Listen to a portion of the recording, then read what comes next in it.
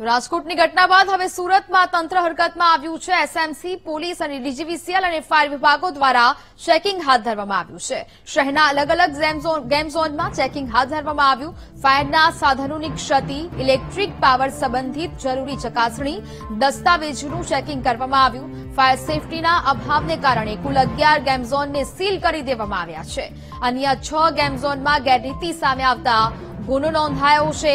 તો પાલના the Fantasia, બે અને બ્લેક બની ગેમ ઝોન સામે પણ ગુનો નોંધવામાં આવ્યો છે. ઉમરાના શોર્ટ ગેમ ઝોન, વેસુના રૂબાઉન્સ અને એક્સપ્લોર ગેમ ઝોન સામે પણ ગુનો નોંધવામાં આવ્યો છે. રાંદેરના ધ ગ્રેટ ફન એમ્યુઝમેન્ટ પાર્કના સંચાલકો સામે પણ ગુનો નોંધાયો છે.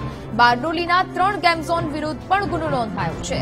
ચોવીસ snooker club, happy planet game orbit game સંચાલકો સામે કાર્યવાહી થઈ છે. ગેમ સંચાલકો વિરુદ્ધ આઈપીસીની કલમ ત્રણસો છત્રીસ અને જીપી એક્ટની કલમ એકસો એકત્રીસ મુજબ કાર્યવાહી કરવામાં આવી છે. બે દિવસથી સતત ચકાસણી કરવાનું ચાલી રહ્યું છે. ના માત્ર ગેમ ઝોન પરંતુ જેટલા ફનફેર હોય, જાદુગરના શો હોય કે વોટર પાર્ક હોય કે જે પણ એમ્યુઝમેન્ટના એવા બીજા જે પણ જગ્યાઓ હોય, બધી જગ્યાએ અત્યારે પણ હાલમાં પણ એ કાર્યવાહી ચાલુ છે.